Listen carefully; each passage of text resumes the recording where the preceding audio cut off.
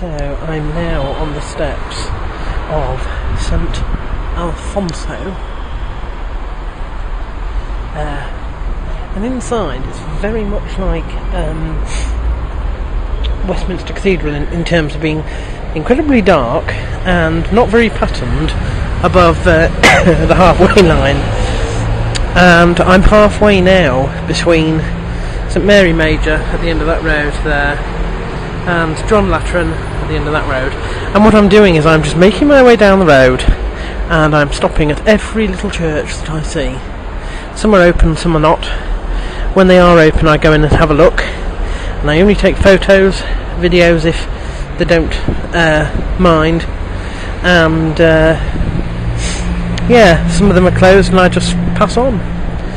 So I'm making my way I think St John Lateran is as far that way as I'm going because then I think we're going to have to head back that way, which is where all the Roman sort of areas are. I know, like the next road along seems to have a lot of churches on as well.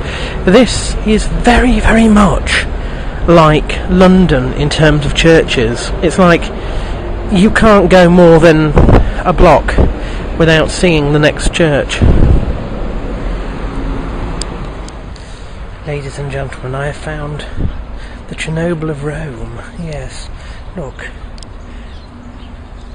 There's one little kitty catty there, and there's another, and that one's playing dead, but he's alive. And then there's even one down there. That's four. And I thought Jenny Fields was bad. And this is um, uh, something to do with the Commune of Rome. I think it was a commune at some point in time, obviously not anymore. And this is, uh, oh my god, there's uh, there's more kittens. I've just seen two over three over there. So that's now one, two, three, four, five, six, seven that I've seen. Anyway, this is the uh, this is the the area. It's a garden. Uh, dedicated to Nicholas somebody or other, Calipari, I think, or Calipoli or something like that. So, and what we did was, unfortunately, straight off the path, uh, we were going, heading for um, John Lateran, uh, and then we saw another big church um, that wasn't too far away. So we thought, well, we'll digress in that direction. But before we got there, we found this, which is interesting because it's not actually on the map. I still know where I am because right ahead of us is Mary Major, and the church that caught my eye is round this corner. So I thought I'd check that out first. And now we're so close to uh, Piazza Emmanuel uh, the second, I think uh, one of the kings, the Italian kings. Uh, yeah, that's the church that caught my eye just round here. That we may as well do that because I think that lies between here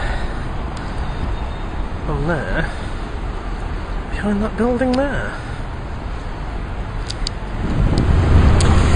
Sorry, it appears that that uh, the garden there, that is uh, Vita Emmanuel 2. So this is the main piazza around here. I was going to say, it seemed a bit sizable not to be on the map anywhere. I got myself into a bottleneck, there we are. So, I'm going to continue on my journey. And I think I'm going to get to Piazza Dante before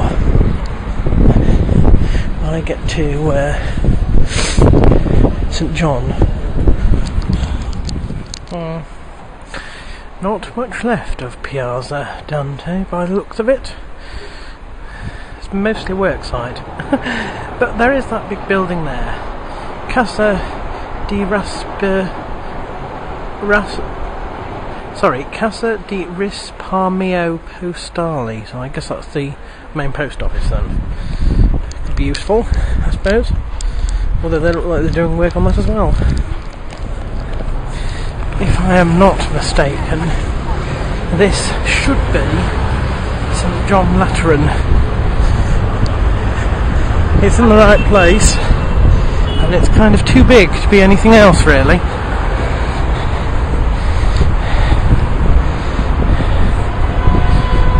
Wrong.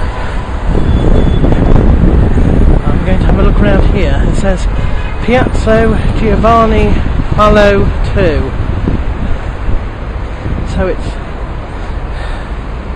the square of John Paul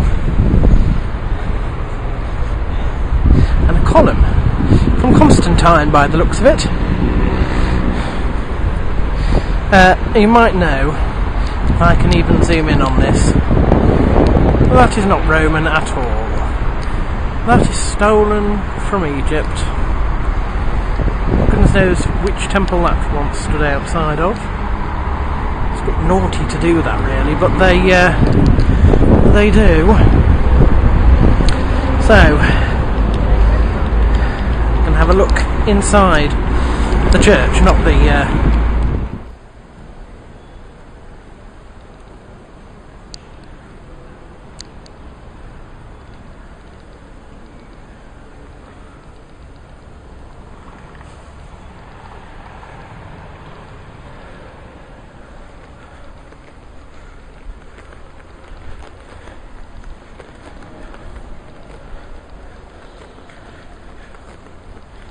That is the actual papal throne. It's not in St. Peter's. It's here in John Lateran.